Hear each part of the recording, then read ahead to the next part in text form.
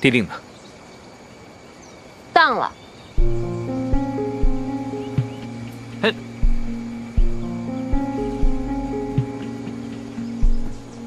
那可是阴阳相合，就可以号令三军的地令，你凭什么说当就当了？你想要地令，可以直接问我，为什么要用骗人的手段？我若问你要，你会给吗？不会，因为我不傻，我知道地令是什么东西。我更知道，只有装傻将他当掉才是最好的选择。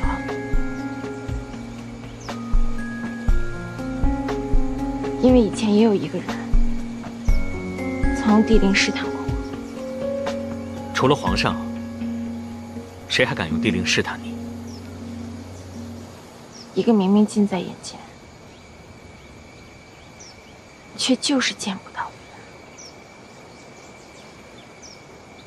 近在眼前，我与他从玄灵大陆起，纠葛了几个时空，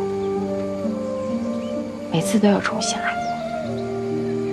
人生在世，本来无论痛苦或幸福，只需经历一次。可是偏偏我和他爱了一次又一次，也被不痛了一次。玄灵大陆，几个时空，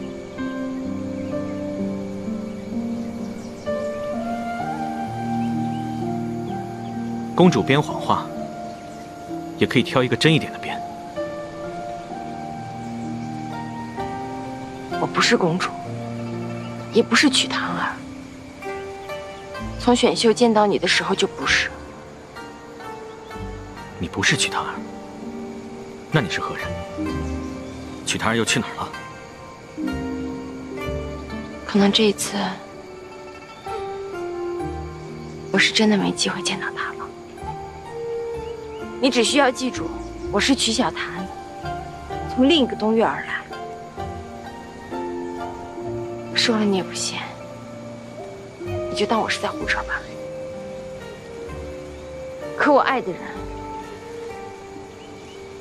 和你有着相同的相貌，相同的名字，他就在你的身体里。我执意娶你，不是为了你，而是为了永远守在他身边。从他身上种种迹象看，与其说是性情大变，倒更像是换了一个人。可真的有另一个我在身体里吗？一个他的真心所爱。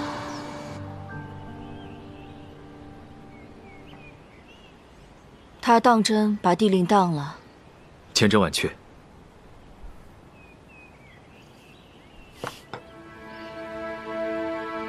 这个曲檀儿做事，还真是出其不意。如此一来，既自证了对帝令毫无兴趣，又断了莫连城染指帝令的可能。可这样，他也就真的放弃了帝令能给他带来的权利。所以臣认为，曲檀儿并不信任莫连城，他也害怕墨家会利用他做些什么，宁可不要，也不愿被操纵。他们俩或许真的只是虚情假意呢。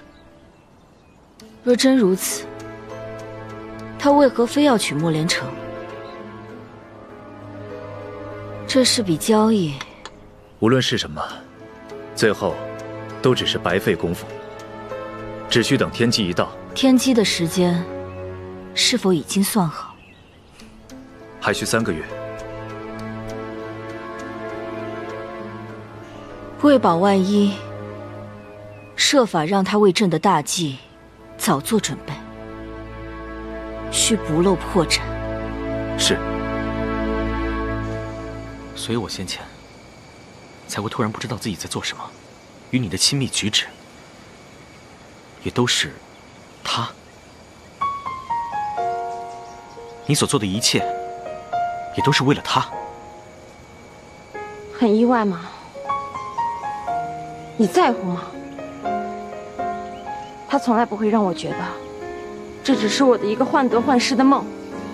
他也让我明白我是他心里最重要的人。你呢？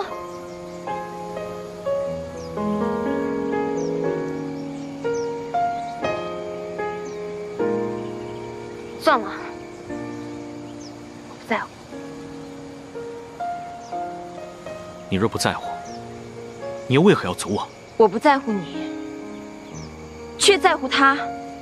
你偷不偷地令，墨家造不造反，我根本懒得理你。我大可以高高兴兴的成全你嫁入后宫，可他还在。有时我难免恍惚，下意识将你当成他，是我的错。我以后定会牢记，你不是他。等到将你们分开，你就算浪少凌霄，也与我无关。可现在，你若是再做半点陷他于危险的事情，我一定不会像以前那样再纵容你。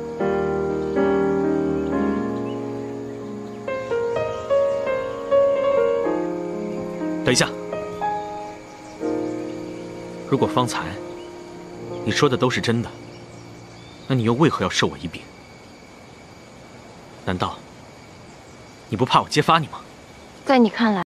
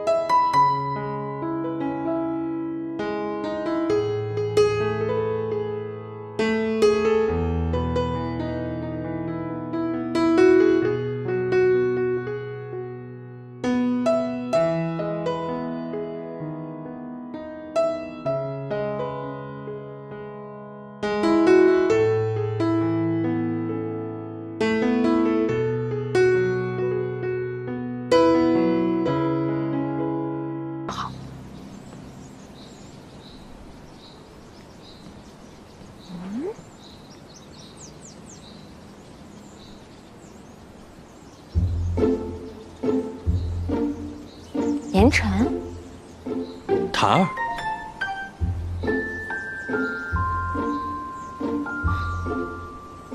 那壶酒空了，我又回房拿了一壶。想来我还不曾与他静下心来聊过什么。想想我如今的处境，倒是与他相似。